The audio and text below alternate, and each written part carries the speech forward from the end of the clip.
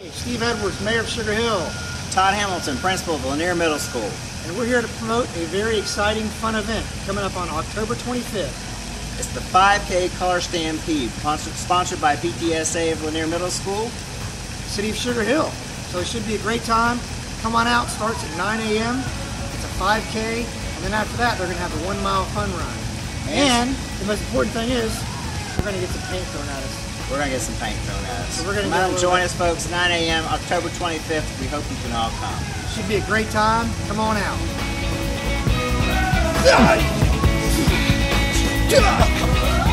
Hey, he's got to get over here too. Great. Should be a lot of fun. Come on out.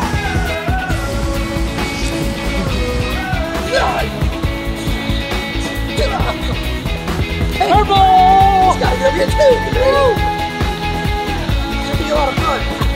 Come out. For more information on how you can join the Stampede, visit the Lanier PTSA website, the City of Sugar Hill website, or runsignup.com.